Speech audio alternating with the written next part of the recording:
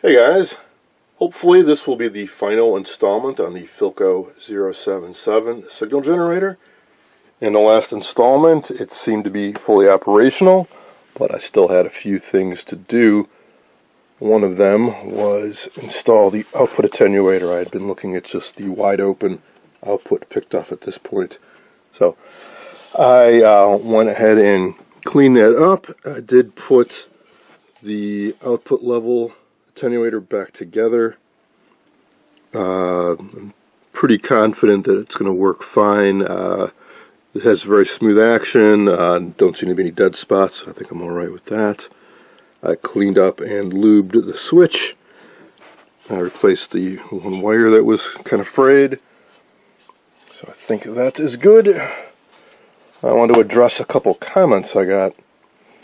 One was about the waveform kind of bouncing at the end. That was when I was at the highest frequency range, the one that goes up to 35 megahertz. Well, a couple reasons for that. One, you may have noticed as I went through the various frequency bands, as the frequency got higher, the amplitude dropped. Because there's no output amplifier on this, there's no buffer amplifier, and that's typical of oscillator circuits. Is the higher the frequency, the uh, the lower the output. Um, so what that means is, as I was going up the higher frequencies, I was increasing the gain on the scope because the signal amplitude I was measuring was getting smaller and smaller. So what? What does that mean? Well, the lower the output that the circuit's generating, the more noticeable noise is. There's always noise. There's always noise floating around in the uh, in the ether, so to speak, just radiating from everything, from these lights, the house wiring, radio stations. There's just a lot of RF stuff going all over, and of course the 60 hertz hum that's just kind of ever present in this uh, in this country. So, I have this thing opened up. The entire cabinet is metal that serves as shielding, as does the shielded cable so I was just picking off the signal here. So was, in other words, it was exposed to the environment, so it's going to pick up some noise there, including from the power cord, which I just have lying here. Now, when this is all back together, we not only have the grounded shielded cabinet, but also the power line will be routed off this way, and there's also a power line filter, which I'm currently bypassing. So I think that accounts for the bouncing on the waveform. So I think that was 60 hertz being superimposed on top of the RF that was being picked up because of lack of shielding.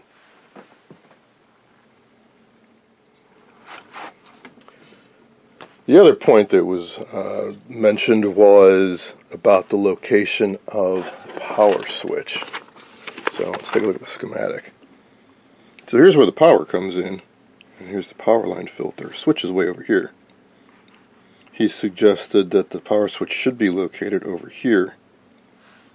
And yeah, that does make sense. Except for one thing. Uh, these two coils and these two caps are on the other part of the cabinet. This is the face. The body of it has half of that line filter. Power switch is over here. So I would have to run a line directly from the AC input bypass the line filter, come over to the switch, and then run a line back over to the line filter and then back over here. I could do that. Uh, I'm inclined not to, though. Partly because I want to preserve the originality of this as much as possible. This is not a precision laboratory grade piece of equipment. Uh, so I'm not really worried about that. Safety, eh. Uh, that's a topic for another video, perhaps. I don't have a definitive answer about what I'm getting at is having components always on the AC line when the device is plugged in. These capacitors I used are rated for that type of operation. But you, generally speaking, yeah, it's nice to not have any type of load or anything on the AC line at all times if you can avoid it. I know some guys talk about they unplug their stuff, unplug just unplug their old radios. entirely, or put them in a switch, which is actually how most of my stuff is in here. I, uh, I have power strips like this, and I turn them off. So does, that's another reason why I don't care so much. Is um, I kill the power to the uh, to the outlets in here, so doesn't I don't really necessarily rely on the power switch and the devices themselves. And uh, one final point is it has an unpolarized plug. I potentially could use a polarized, except remember it's got that AC interlock in the cabinet, and that is not polarized, and I do not want to replace that again to preserve the originality. So, knowing how I'm going to be using it, which isn't very much, um, I'm not particularly concerned about those safety aspects of it. And as far as where to put a fuse in this, again, if you put a fuse right up here, it would protect everything. Whereas if I put a fuse over here, these could still be an issue. But then again, these capacitors are designed specifically to be on the AC line. And if there's some kind of lightning strike or surge, they're designed to fail safely so they won't short out, catch fire, etc. So Again, I'm not that concerned about where exactly the fuse is located.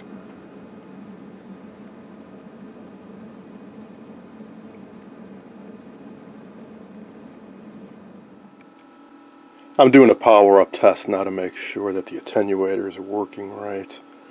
And at first I was surprised at how low the output level is. So I'm in the high jack. When you're in the high jack, the level switch has no effect. The only thing that's affecting it is the output attenuator control. So I've got the high level output with maximum output level on the variable control and we're sitting at about 100 millivolts peak to peak which is way way way less than what I was measuring previously and I at first was thinking, oh, something doesn't seem right. Maybe something's partially shorted. It's killing the signal level. And I took a look at the schematic again. So previously when I was checking this, I didn't have that attenuator hooked up, which is a 250 ohm variable resistor going from uh, essentially the output of the generator to ground. Now the output of the generator or oscillator goes through a 45,000 ohm resistor, or in my case, I used a 47,000 ohm resistor. So, think about it. The signal's coming out of the oscillator, going through a large resistor in series with a small resistor going to ground. That forms a voltage divider. That's going to cut the signal down considerably. That's a ratio of more than uh, what, uh, 100 to 1. So, yeah, you get a very low output level. So this is the maximum it's going to put out. This is on a lower frequency band. At a higher frequency bands, it's going to get smaller and, and smaller.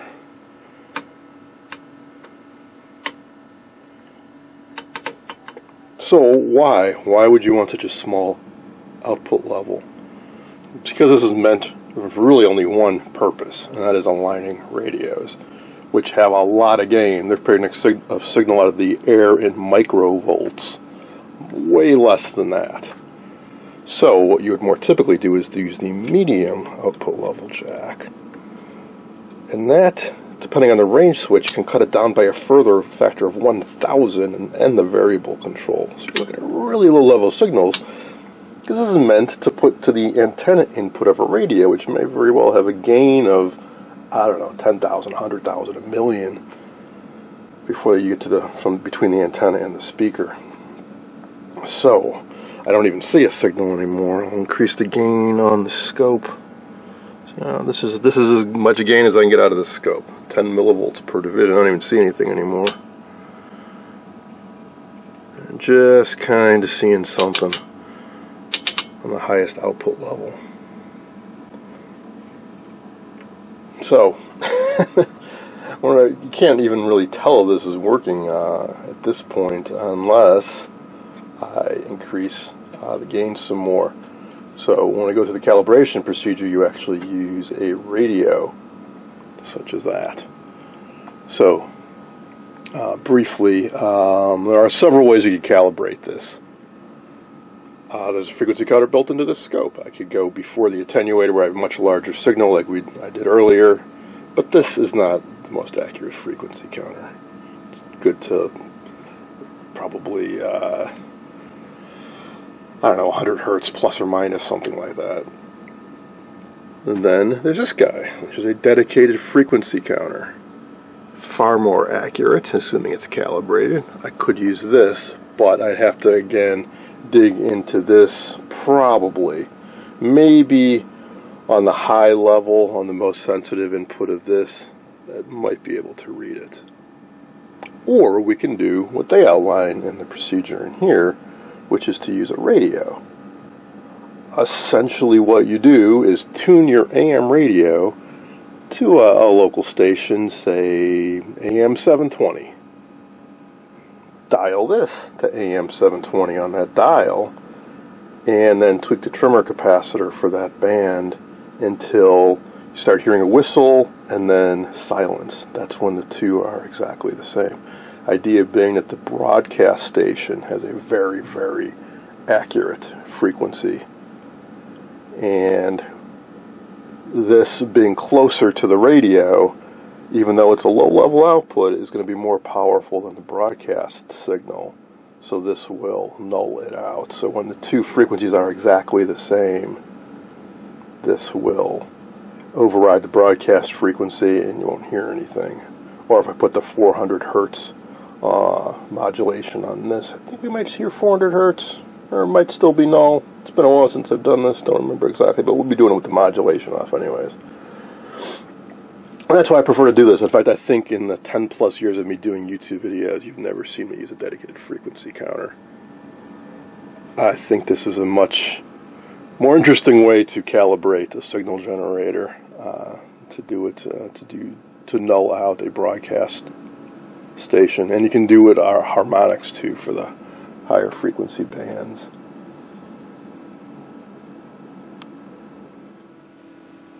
Before we get into calibration, I wanted to talk about a few more things. I just remembered I got another comment about replacing these mini BNC output connectors with something like a uh, more modern BNC connector that's very standard on test equipment these days, like this frequency counter and scope have. I could. That's a very common modification of vintage test equipment because uh, you really uh, they don't make cables like this anymore. So you got to get creative, make your own, adapt. I think this is actually from a voltometer, but it fits in there pretty well. Uh, no, I'm not going to replace these. Reason being that uh, I know how I'm going to use it and my intent with this project. Uh, I will be using this on some upcoming projects, but it is not going to be my go-to lab grade piece of test equipment. I've got some other RF generators I'll show you in a bit that I use on a daily basis. This being a, a so original, I don't want to take that away from it. They're not super rare, it's not super valuable, but since it's all there, I don't want to modify it. Um, another thing I wanted to mention about the output is I mentioned a few times about the output impedance on this being kind of unknown or variable. That's not true. I actually read the manual. Shockingly, I, I went ahead and read the description, and that is not what they say. Now, it is true if you use the high output, which is just going right off the oscillator through a resistor through variable attenuator and then the output. However, the medium jack goes through a complicated network of resistors. That, they say, is a fixed output impedance of 100 ohms. Not a standard value, but I was interested in that, that it is a constant output impedance.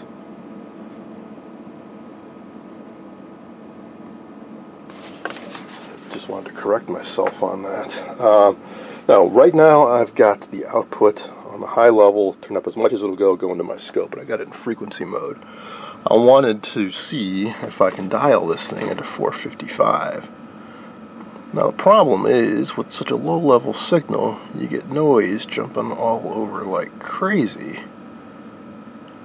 Which makes things a bit difficult. Now one thing I can do with this is turn on bandwidth limiting. Which unfortunately didn't really help in this case maybe a little bit. That reduces the bandwidth of the input, which can potentially cut down noise. But seeing this is low, low, such a low level signal, it's only helping so much. So you certainly wouldn't want to try calibrating off of this. It's way too jittery. Now if I go back further into this with a higher level signal available, I could, which is yet another comment I received about modifying this, yet another modification, which is to put a BNC, say, in the back of it, tapping in to the higher level signal, the signal on the other side of that 47K resistor. So be right in here. And then go into a frequency counter, like such. So if I was going to use this on my lab, like every day, that would be a very good mod to make because yeah, you can calibrate this and you've got the dial to look at. But unless you want to go through the calibration procedure, say every day with the radio to make sure it's dead on, it's a lot easier just to look at a digital display and say yes. Give yourself some reassurance that it is calibrated correctly and still working uh, as it should be. However, I'm not going to do that again because I don't want to modify this. Uh, but let's see what the frequency counter can tell us. Uh, again, going from the output. So, uh, something else worth noting about this. If you pick off any of these signals up here, they have DC on them. This is not capacitively coupled. And they say in the instructions when you're using this thing, when you go to like the antenna and put on a radio to couple it with a capacitor. And so I've got one here going to my signal generator. The scope, the scope can handle AC and DC. It's meant for that. But uh, if you're not sure, about what you're hooking this up to, definitely use a resistor in series with it. So I'm going to pop this out and take this. It's kind of got a fat enough lead, I think I can just kind of stick it in there.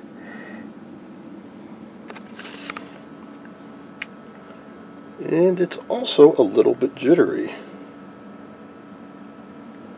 and I think it is because of a little signal. This also has a filter. We can put that on. And what? That, that definitely helps out considerably. So, turn this up a little bit. Let's see if we can get 455. Let's see how stable this thing is.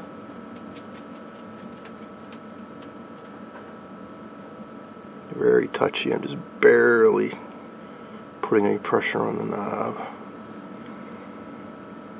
Wow, that, uh, that's pretty stable.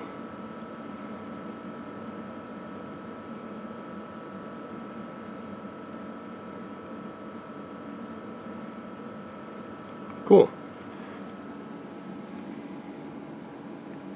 Alright, so I'm satisfied that this is all working as it should be. So, next step, disconnect everything and tie it back into the AC line filter here, these wires, and notice there are holes in the back of the cabinet. That corresponds to the calibration trimmer caps. In other words, this is meant to be calibrated when it's all back together, not when it's out in the open like this. That'll take into account any uh, effect a stray capacitance has once this is back in here because grounded surface, You've got components in here. This is going to have a subtle effect on the inductors and capacitors when it's all back together. So you don't want to calibrate it when it's all taken apart like this.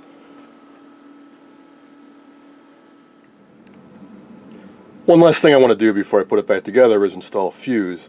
So I was thinking about, well, where's the best place to put it? Well, here is the second line filter cap, and there's the power switch, and we've got a wire right here. The other wire uh, two wires here. That's the primary, these yellowish wires. One's going to the other AC line capacitor, and one goes to the switch. So if I take out that red wire and put a pigtail fuse in there, seems like a really convenient place to put it. yeah, I could drill a hole in the back of the cabinet and put one of those fuse holders on where you can unscrew and replace the fuse. But again, I want to preserve the original look of this. And I'm kind of of the mind that fuses aren't meant to be replaced. uh, if the fuse blows, it's because there's something wrong, and you should really open it up and take a look and see what's going on inside. Anyways, as far as the size goes, I think this is a 1 amp slow blow. Or, no, it's a half amp. That should be sufficient. This thing is, is quite low power. There's only two tubes in it after all, in the rectifier tube. So I think a half amp slow blow should work out well. And uh, on the schematic, that is here. So it's right next to the switch. Uh, so yeah, that will be that. And then uh, I just went to Home Improvement Center and got some of these push-on spade terminals. I think that will do for the uh, AC line cord.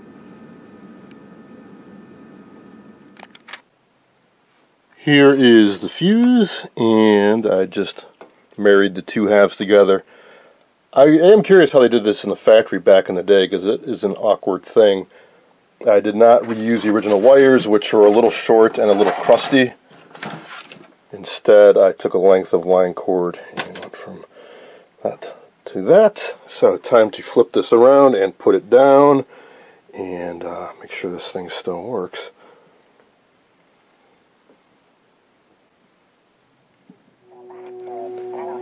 I've got the generator all back together and powered up. I stuck uh, an output lead into the high output, got the level up all the way, and I fired up one of my period uh, Philco radios that would have been used with a generator like this. And I've got the antenna from the radio lying near the output of the generator. And I've got the radio tuned to AM 820, and I got the generator about in the same area. And you see as I tune the generator, kind of wipe out the radio station. So, the idea is when the frequencies get close, they start mixing with each other, and you hear that whistling sound. And when it's you hear a dead silence, that's when they are exactly the same. And I'm pretty sure you should do this with modulation off, which is what I've got right now. Or actually, what I should be doing is put the dial on AM 820 or, or 820 kilocycles, I should say. And then adjust the trimmer in the back. So let's see. About there. Closed all across the country, everywhere, cutting back. Alright, right there. What's really happening? And now there are all these trimmers in the back. So we need a tool like this. Plastic with a slot on the end. And I gotta get in there and make sure I get the right coil and tweak it until we don't hear the radio station anymore. So, excuse me while I poke around and make sure I get the right coil. Luckily, there is a diagram in the service info that shows you, so it looks like the B scale is the topmost one. So, that should be this guy here. And there we go. every year that the wildebeest have to go under. They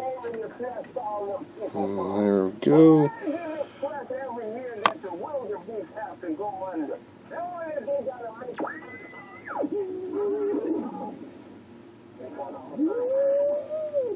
So, whistling to either side.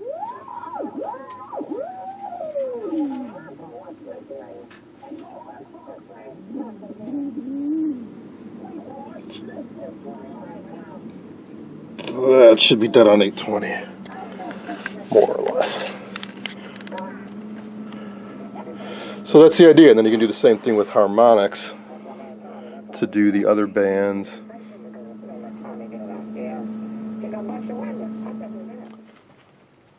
I was just editing the video and I realized I made a couple mistakes. So I'd like to correct those now.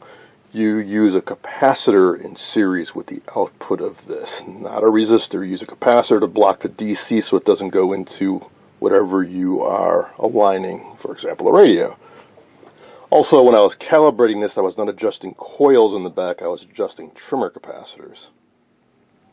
Alright, now I also mentioned that as cool as this is, it is not something that I will be using day in and day out on my projects. I've got these more modern generators I uh, use on a regular basis. I've done videos on both of these a few years ago, back when I got them. This is a Hewlett Packard 3336A synthesized level generator. This will do up to 21 megahertz and it will do a sweep. So if you pair this up with an oscilloscope, you can actually see the frequency response of, say, the AM or FM radio you're working on. However, it's still not high enough frequency for the TV work that I do. So I got this guy, which is a Hewlett Packard 8657A, which will go up to just slightly over 1 gigahertz. So these, you just turn them on, type in 455 kilohertz at your output level, and you're good. Yeah, they also cost a few bucks, but I figure with the amount of um, projects I do, uh, I needed to invest the money in something that I knew was fully functional and calibrated to help me, well, restore and calibrate the vintage stuff. So certainly you don't need this to align a radio. It's overkill for just about everything that I work on, but I I had the means to get it, so I splurged a little. Another interesting thing you can do, apparently this radio isn't shielded as well as it could be, or some signal just leaks through, but you can get the 455 IF frequency, and you can hear that coming through too. So the Dallas Center on 455. Just, that, that doesn't have to be left to opinion. The science and the math backs it up. What about the people out there? What about the people that it took how many days to get off that Princess cruise ship on Cal- in California? So that's the idea: is that if you've got a radio that you know is working well, uh, and you you can tune into a station, and you know you're dead on the station, you can feed the output of this in, and when the two coincide, you don't hear the whistling anymore. That's the gist of how you calibrate one of these. So, uh, that is going to be it for the Philco 077 signal generator. I hope you enjoyed this series, which turned out to be way longer than I expected it. Oh, and if you're wondering, that is how the AC line ended up being. So just two push-on terminals go into an AC line and I will try to replace the handle, but I think to do that I'll have to drill out these rivets to uh, get a new one on there. And now, coming up, we've got another project, and we're going to use this, hopefully, to align a radio.